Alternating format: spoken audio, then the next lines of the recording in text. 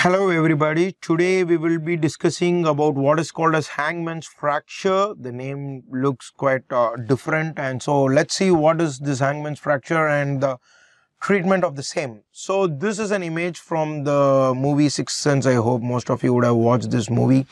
So this is what was happening couple of years, a uh, few decades back uh, when they used to hang the culprit. So this is uh, the way they hang and this resulted in a fracture called as hangman's fracture and the death of these individuals were attributed because of these uh, fractures. Before getting into the details of what is hangman fracture as I already uh, told many times we have to know about the anatomy of the particular bone before dealing with the pathology of the bone. So we have to know the anatomy of C2 before discussing of hangman's fracture which is nothing but a C2 fracture.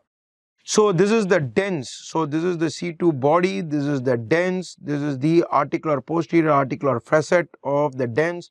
This is the superior articular facet which gets articulated with the atlas.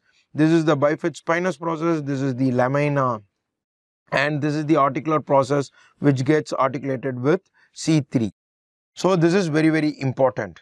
So this is a cross-sectional view of C2. This is anterior, this is posterior, this is the dens this is the transverse process which is very rudimentary. This is the pedicle. This is the superior articular process. This is the body and this portion is the lamina and this is the spinous process.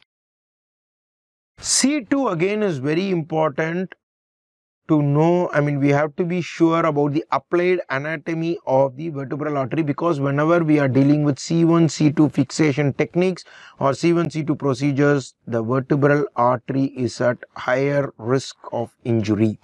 So as you can see, the vertebral body comes all the way from the C2. It goes lateral, goes into the transverse foramen of C1 and at C1 it comes medially then it turns back and goes into the brain. Similarly, if you see in the sagittal view, it goes anterior, then it comes posterior and curves medially. So when you are putting a C1, C2 transarticular screw which uh, goes and fuses the C1, C2 joint, you have to be very careful that you are not hitting the vertebral artery. So the term hangman's fracture was first coined by Schneider in 1965. It is nothing but a bilateral fracture which is traversing the pars interarticularis of C2. This is the pars of C2. So it's a fracture of the pars of C2 with an associated traumatic subluxation of C2 on C3. Basically, the C2 gets fractured at the pars and then it gets subluxated over the C3.